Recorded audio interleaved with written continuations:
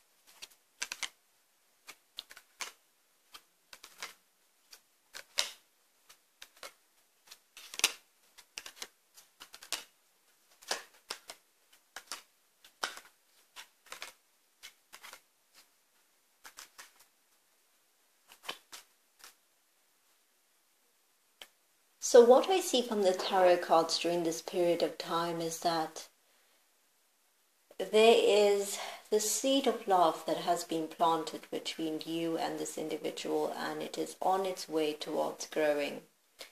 I feel like for some of you, this is a very exciting period in your love life because you are dealing with a person that is getting to a position where they're feeling more comfortable with who they are and they're starting to realize what values they have as a human being and who they are in this moment of time. I do feel like the individual you're dealing with is feeling very grateful in terms of all the things that they have in their life. But I also feel like they could be turning towards a higher source for guidance, meaning that they could be turning towards religion, they could be praying, they could be meditating during this period of time. I feel like they are at a point where they are trying to gather their strength. And as they do so, as they grow, as they learn, they become more satisfied with where they're going towards in terms of their journey from your energy, what I'm picking up is that some of you are dealing with a little bit of disappointment in the situation because you've been waiting for some time to get together with this person, you've been waiting for some time to start celebrating life, and it hasn't been moving as fast as you would like for it to. So the tarot cards are telling you to be as patient as possible.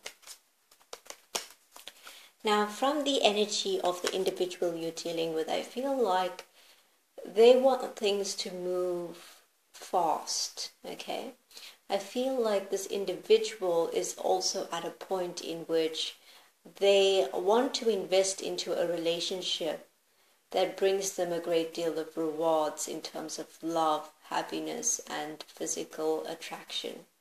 Now, I feel like your energy, on the other hand, is indicating that some of you are thinking about the past and you are looking back in a way in which you're trying to analyze where were the opportunities where you could have done things differently? For example, you know, could you have improved upon certain things? Could you have said different things, etc.?